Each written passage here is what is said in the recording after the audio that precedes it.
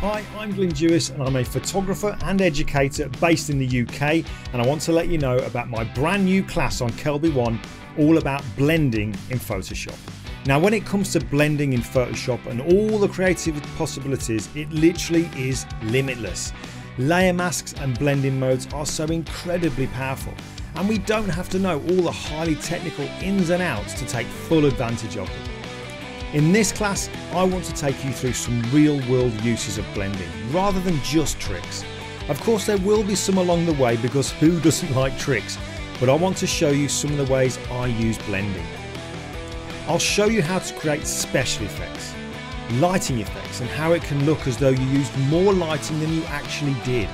How adding texture using blend modes can save you a ton of money on backgrounds and also how we can get Photoshop to do the hard challenging blending so that we can then get on with the fun stuff, being creative. So check out my new Blending in Photoshop class exclusively on Kelby One.